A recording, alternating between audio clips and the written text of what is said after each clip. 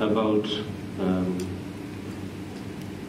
one of the causes, one of the other causes also uh, for the dissolving of uh, great physical manifestations being uh, lack of positive karma from uh, in terms of environment, in terms of aspiration, in terms of lack of lack of aspiration, sorry, and lack of positive merit in karma, although they are uh, very genuine um, causes and reasons, but one mustn't um, discourage oneself, ourselves, uh, in that way to um,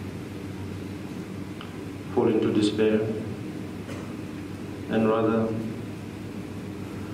find uh, the courage by, as I said earlier, to remind ourselves that it is yet another message, it is yet another way of um, re- reminding uh, how things are uh, as long as we live in this uh, ever-changing world.